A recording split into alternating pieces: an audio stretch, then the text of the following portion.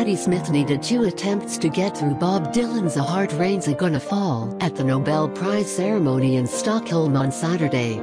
The American singer-songwriter forgot the lyrics in the second verse and had to pause to regain her composure. I apologize. I'm sorry, I'm so nervous, Smith said, asking the orchestra to start over.